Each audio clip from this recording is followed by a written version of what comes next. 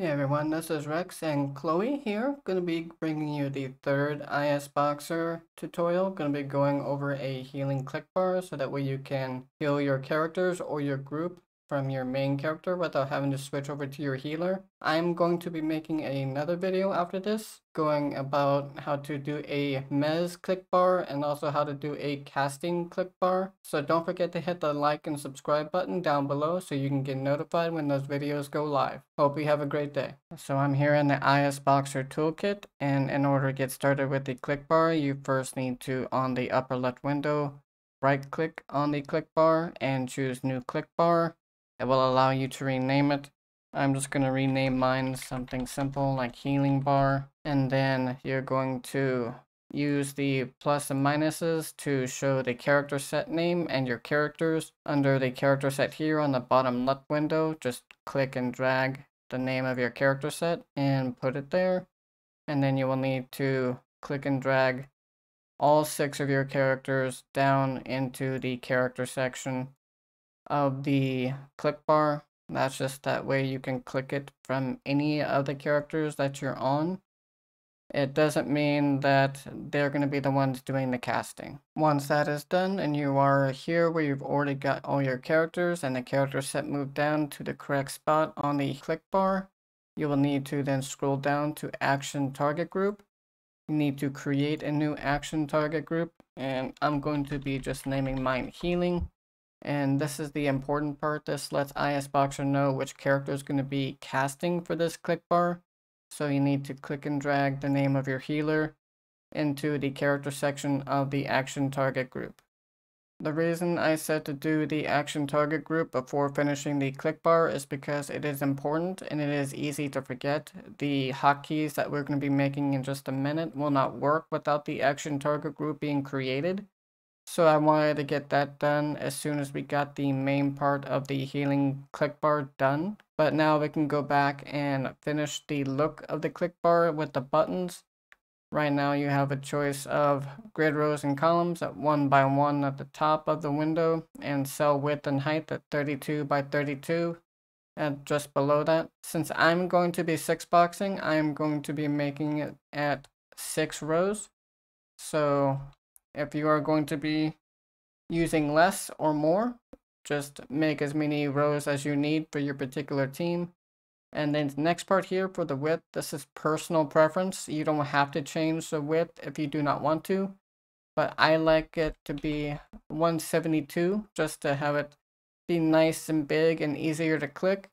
And don't worry if it looks like this right now. All you have to do is save click on the click bar and then go back to the healing bar and you can see it looks back to normal. So now that we're here, there are going to be things that we're going to have to do for the buttons, but we are not going to be doing them right now because we need to make the hotkeys first. So go up to your key maps, right click and create a new key map. I'm just going to call this the healing key map and then you can click on that and you don't have to move any characters or character sets to it just right click on map key and then choose new map key.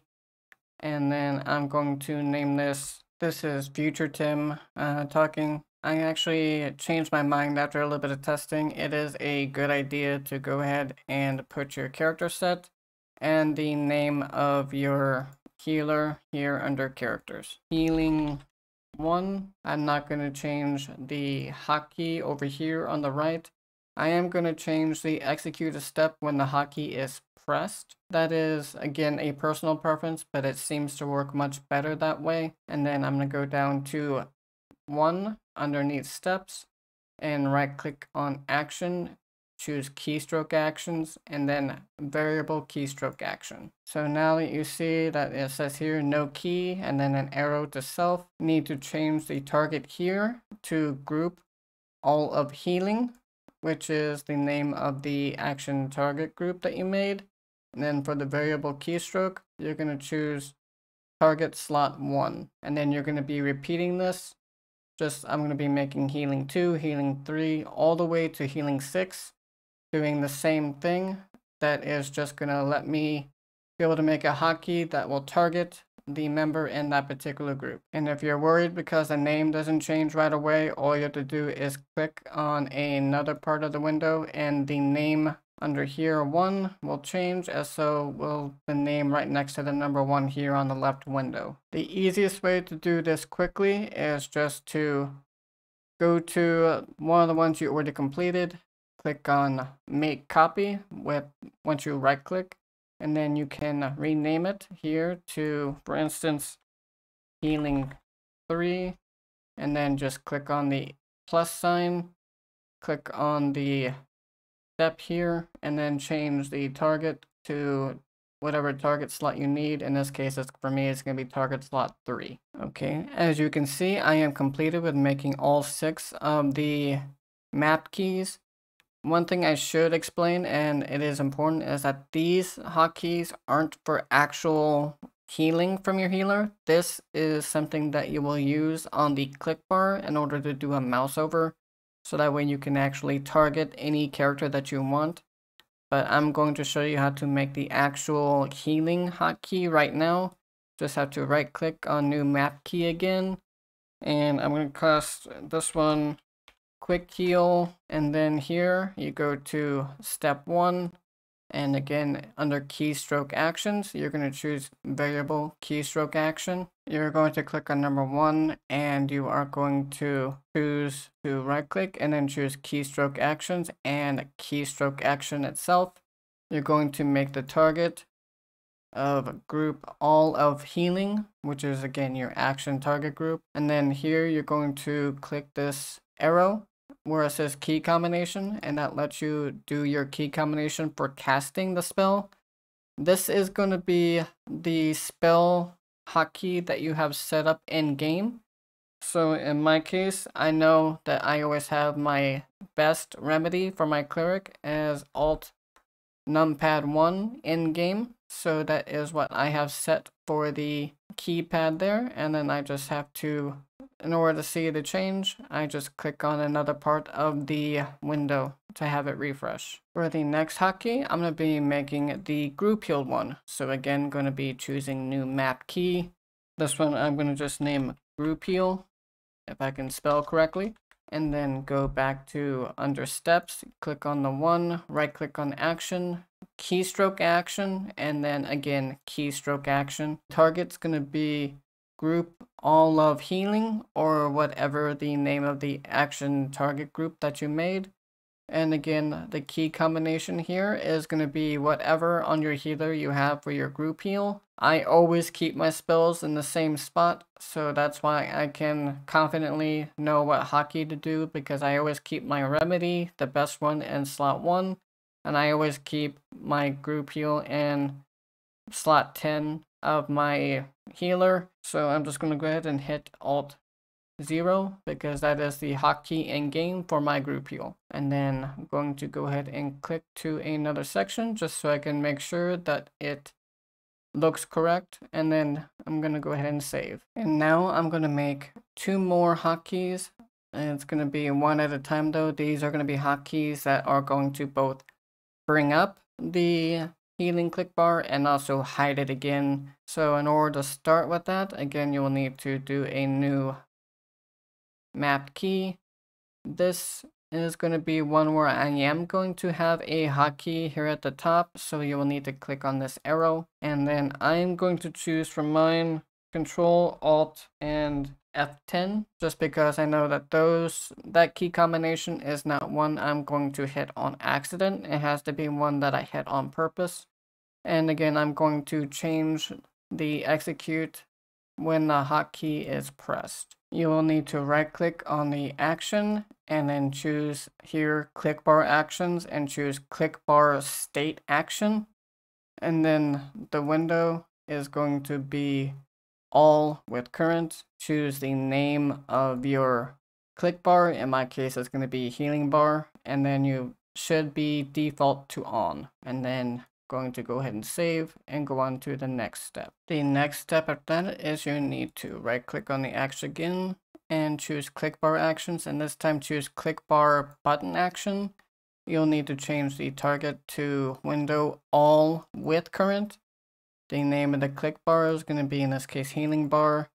And then under the button, just choose the first slot. Then you'll need to check on where to the left where it says text. And this is where you'll put each slot number. You have to do this exactly in order for the name of your character to show up correctly. So you need to hit the brackets. That's the brackets that are just above and to the left of your enter key on your main keyboard. So you need to hit the left one first, then capital slot 1. That's again capital slot S as in Sam, L as in Lima, O as in Oscar, T as in Tango, 1 with no space between the T and the 1 and then you close the bracket and then you can see that it changes to change button 1 1 and healing bar click bar to all. And that's what it is supposed to say and then you can just copy and make a new one uh, for the next so you'll need one for each character and again the easiest way to do that is just to right click and choose copy action to clipboard. Then right click on actions again and choose paste action from clipboard. Then you can click on the one that was just created. And then that way all you have to do is change the button number and then just click on the text and change that to the correct number here. So as you can see, I just completed making all six. So now this will allow us to turn the click bar on by pushing the whatever hotkey that you selected here. And now we need a way to turn it off. So we need to right click on a step and choose new step. Now this step is going to be pretty easy. There's only going to be one part to it. So you just have to right click on actions under once you click on number two going to choose click bar actions and click bar state action. Going to choose the target to window all with current. Going to choose the click bar here and then set it to off instead of on. And then now we can actually go to the click bar and set up the hotkeys for the click bar itself. So now we're going to be able to uh, set up the casting for the click bar buttons itself. So just go to the button part of your click bar and then select the first button here where it says button 1 comma 1 and you don't need to change the name of the button here under text you will need to change that to the same thing that you did before for the slot so it's going to be the weird shaped bracket to the top left of the enter key on your keyboard. The one with the kind of squiggly line, like, like that's uh, just, if you hit shift and the regular bracket key, it gives you the squiggly line bracket, so that's the one you need.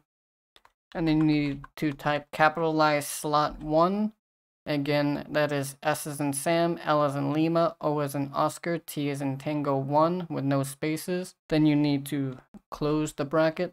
Basically, well, you can change the color if you want to. I can't say you need to. It's a personal preference. I like changing the color of it in-game so that way I can read it uh, much easier. So I change it to a blue color personally. And now once you have that done, you need to left click on the button again. That will bring up this key map here. Uh, it's going to say Control Alt Shift with some boxes that are going to be unchecked. You leave them unchecked. You'll see here it says left click. You're going to go ahead and leave that as is also.